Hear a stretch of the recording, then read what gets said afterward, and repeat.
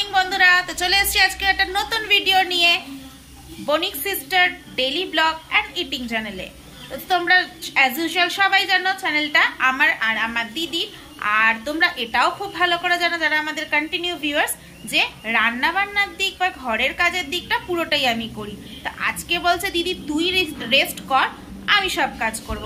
তোমাদেরও সৌভাগ্য, আমারও মেবি সৌভাগ্য। চলো, সৌভাগ্যে কি কি পাওয়া যায় আজকে, সেটাই দেখতে থাক তোমাদের যেরকম বললাম, দিদি তো এখন ঘরটা ঝাড় দিয়ে নিচ্ছে, তো দিদি বেচারি ঘরটা ঝাড় দিয়ে নিচ্ছে। চলো তাহলে আমি একটু হেল্প করেই দিই। একটু ঘরটা মুছে দিই, দিদি ঘরটা ঝাড় দিয়ে নিই রোজ তো কাজ করে না, আজকে বেশি বকবক করিস না, শরীর খারাপ যখন শুয়ে থাক। কি বলছে শরীরটা খারাপ, কিন্তু শরীর খারাপ বলে কি শুয়ে থাকব? সেটা তো নয়, খাব তো নাকি? খেতে তো হবে, খাওয়া ছাড়া কিছু নেই তো জীবনে। তো চলো ঘরটা মুছে নি ঘরটা মুছে দেখি খাওয়ার কি করা যায়। ঘরের কাজ করতে, যখন করছিলাম, করতে করতে এই যে পাখি, তিনটে পাখি তখন আমার কাছে ছিল তো সবুজ রঙের পাখিটার ডিম পাড়ার পরই একটা পাখি মানে পাখিকে মেরে ফেলেছে। তো তিনজন ছিল। তিনজন প্রচণ্ড ঝামেলা শুরু করে দেবে। সাদা রঙের যে পাখিটাকে মারতে শুরু করে দিয়েছে বাকি দুজন পাখি। তো ওর জন্য দেরি না করে আমি আর বোন আগেই একটা ওই পাখিটাকে নিয়ে গেলাম। নিয়ে গিয়ে আরেকটা খাঁচা আর একটা পাখি নিয়ে আসলাম, ফিমেল পাখি। তো পাশে আমাদের যে প্রতিবেশী আছে, তো আন্টি পাখিটা বার করে দিল, কারণ আমাদের ক্ষমতায় হয়নি ওকে বার করে নিয়ে আসার জন্য। তো এখন বাচ্চাগুলো এগুলো নিয়েই বসে আছে। তো বন্ধুরা, তোমরা দেখতেই পাচ্ছ, দুটো খাঁচা নিয়েই বসে আছে। একটা খাঁচার ভিতরে তো আঙুল ঢুকিয়ে ঢুকিয়ে দেখছে কি করবে কি না করবে, কারণ ওটার মধ্যে একটা ছোট্ট দোল্লা আছে বলে। ওখান থেকে ওকে নড়ানো যাচ্ছে না যে আমি পরিষ্কার করব, সেটাও করতে আমি পারব না। আর ওদের অল্প একটুখানি তুলসী পাতার ওটা ক্যালসিয়ামের জন্য দোকান থেকে আমাকে একটা দিয়েছিল ঝিনুকের টাইপের কিছু। তো ওটা দিয়েছি ওদের খাওয়ার জন্য।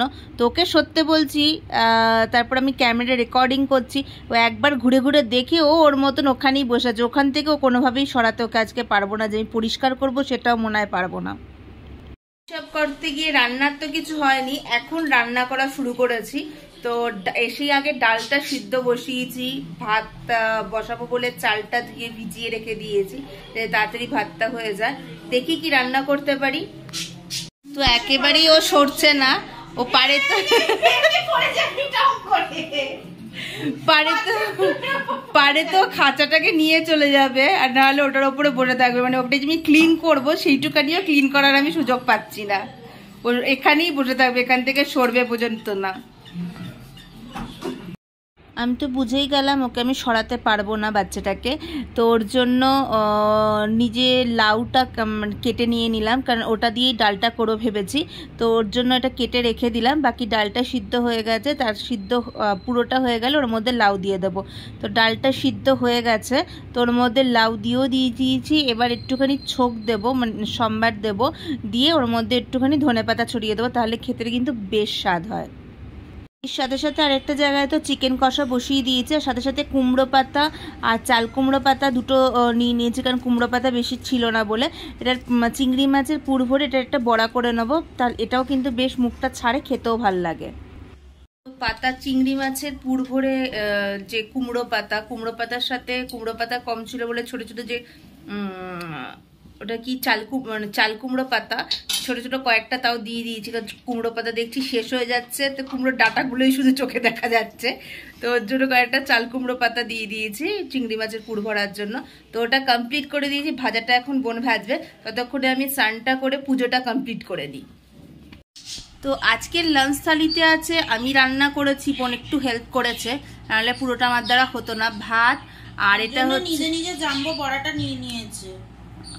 তোকেও একটা রেখেছি, একটু ছোট হলেও রেখেছি, যাই হোক। এটা হচ্ছে কুমড়ো পাতা আর চিংড়ি মাছের পুর ভরে বড়া করেছে, আর এটা হচ্ছে কুমড়ো ফুল, কারণ কুমড়ো ফুল দুটোই ফুটেছিল, দুজনের দুটো। আর এটা হচ্ছে চিকেন কষা, দু পিস নিয়েছি, একটা তার সাথে একটা ধামসা আলু। আলুটা ছোট হলে চলবে না। আর নিয়ে নিয়েছি হচ্ছে মুগ ডাল, ভাজা মুগ ডাল, তার সাথে লাউ লাউ দিয়ে করেছে ওর মধ্যে ধনে পাতা দিয়ে দিয়েছি। আর গন্ধরাজ লেবু আর কাঁচা লঙ্কা। কাঁচা লঙ্কা একটু নিয়েছি। মানে চোখে দেখলেও তো ভালো লাগে যে কাঁচা লঙ্কা আছে। তো দেখতেই পাচ্ছ, বেশ সাজিয়ে গুছিয়ে আজকে বসে বসে পড়েছি। আর স্পেশাল হচ্ছে এই বড়াটা। বড়াটা বেশ বড় হয়েছে, আগে ভাঙি। দেখতে তো অসাধারণ হয়েছে। তোমরাও দেখতে পাচ্ছ, বেশ পুরটা বেশ ভরাট। উফ, খেতে তো হুম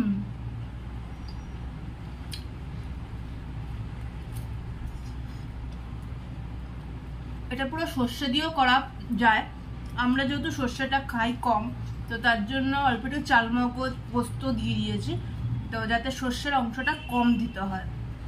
আর অনেকে তিল বাটাও দেয় এক বছর আমি তিল খেতে পারব না কারণ মিঠুনের বাবা মারা গেছেন, তো তার জন্য এক বছর তিল খাওয়া যাবে না। তো তার জন্য এখন চাল মগজটাই বেশি ইউজ করছি। তো আগে এটা খেয়ে নিই খাওয়া দাওয়ার পর তারপর আস্তে আস্তে সব খাচ্ছি। কারণ এটা একটুখানি ভাত দিয়ে মেখে খেতে হবে, না হলে ঠিক টেস্টটা আসবে না। তো প্রথমে একটু ভাতের মধ্যে এই পুরটা বের করে নিয়ে নিলাম। কাঁচা লঙ্কা খাওয়াটা আমার দ্বারা হবে না। তাহলে এটা এখানে দেখার জন্য তো নিয়েছি।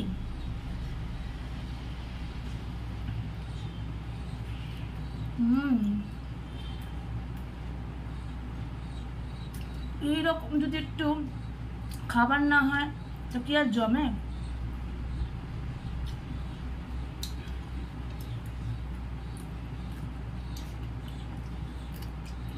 ওইটুকুনি ঠিক আছে। এর থেকে বেশি আমার চলবে না। এবার বাকি অন্যগুলো খেতে থাকি। একটা পর্ব তো মিটিয়ে নিলাম এরপর হচ্ছে ডাল। মানে ওইটা খেয়েই ওইটা খেয়েই পুরো পেটটা আমার পুরো ভর্তি হয়ে গেছে। তা আবার একটা বোনের থেকে বড়া চেয়েও নিয়েছি। আর এই ডালটা আমার সত্যি খুব ভালো লাগে। এক হচ্ছে বেশ ভারী ভারী ঘন ঘন হয়। আর তারপরে গন্ধরাজ লেবু আছে আর কি চাই? একটু গন্ধরাজ লেবু একটু লঙ্কা হলে ভালো হতো কিন্তু আমি ভয় আর খেতে পাচ্ছি না। দেবো? না লঙ্কা দিতে হবে না। আমার কাছে একটা ছিল আমি সেটাই সরিয়ে দিয়েছি। কখন খেয়ে নেব? এক্সাইটেড হয়ে? বলা যায় না তো? হুম। গন্ধরাজ লেবুর গন্ধ। লাউ ধনে পাতা দিয়ে জাস্ট অসাধারণ। এগুলোর থেকে শান্তি কিছু নেই।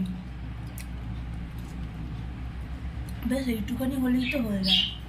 আর কি দরকার লাগে? কিন্তু দুঃখের বিষয়, সবসময় তো আর গন্ধরাজ লেবু পাই না।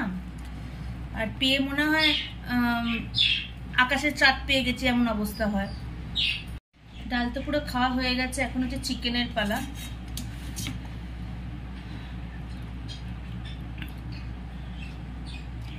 চিকেনটা একেবারে কষা কষা করে ফেলেছি। যাই হোক, এটার সাথে দরকার ছিল গরম গরম লুচি।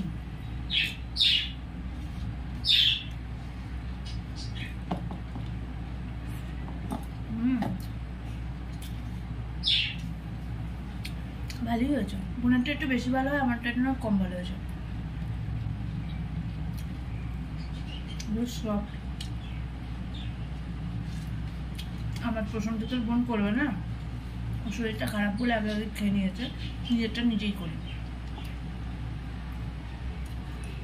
বাকিগুলো তাড়াতাড়ি খেয়ে নিই তো খাওয়া দাওয়াটা চটপট সেরে নিই সেরে নিয়ে চলো, তারপর তোমাদের কাছে আবার ফিরে আসছি। দুপুরের আজকে খাওয়ার পর বেশ একটা জমিয়ে ঘুম হয়ে গেছে। বেশ পেটটাও বেশ ভর্তি হয়ে, ঘুমটা বেশ ভালোই হয়েছে। যাই হোক, বিকেলে যেটা আমাদের এখন কন্টিনিউ হয়ে যাচ্ছিল চা খাওয়াটা, যেটা আগে এর আগে আমরা পুরোটাই অ্যাভয়েড করতাম চা খাওয়াটা। তো দুধটা বেশি খাওয়া হয়ে যায়, যেটা ভয় থাকে, একটা অ্যাসিডিটির একটা ভয় থাকে, আর মাঝে মাঝে একটু গ্যাসের প্রবলেমও হচ্ছিল। তো তার জন্য আজকে ভেবেছিলাম ছানা করব, তো দুপুরেই ওটা করে রেখে দিয়েছিলাম, কারণ বোনেরও শরীরটা ভালো নয়, আর ও দুধ খেতে একদম চায় না। তো ছানা কোট- করার পর ওটা ফ্রিজে রেখে দিয়েছিলাম, ঠান্ডা হয়ে যাওয়ার পর। আর যে বাই চান্স যদি বিকেলে না খায়, ওর মুড তো বোঝা মুশকিল।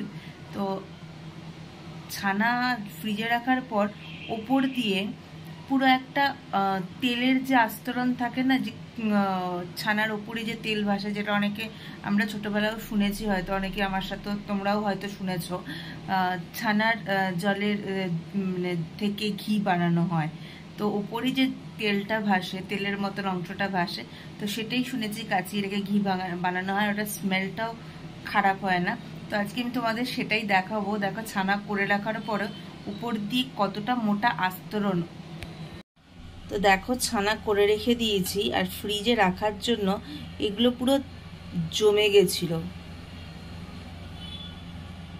আর এগুলোর থেকে একটু জাল দেওয়ার পর যে ঘিটা তৈরি হবে সেটাও কিন্তু একটু সাদা মতনই হবে।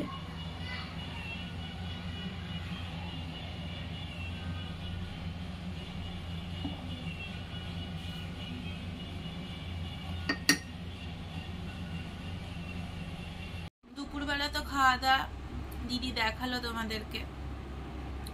বিকেলবেলা একটুখানি ছানা করেছিল দিদি, ছানা খেলাম। বেশি খাইনি। এখন খাচ্ছি চিকেন কষা দুপুরবেলা যেটা দিদি করেছিল সেটা দিয়ে একটুখানি ইয়েলো রাইস মানে পোলাওয়ের ছোট ভাই। ওর ছোট ভাই দিয়ে খাই খেয়ে আজকে রাত্রে ঘুমাই ঘুমিয়ে কালকে আবার দেখা হবে তোমাদের সাথে। আর আজকের এই ভিডিওটা তোমাদের সবার কেমন লাগল অবশ্যই কমেন্টসে জানিও। লাইক শেয়ার সাবস্ক্রাইব করতে ভুলো না জানো। Tata good night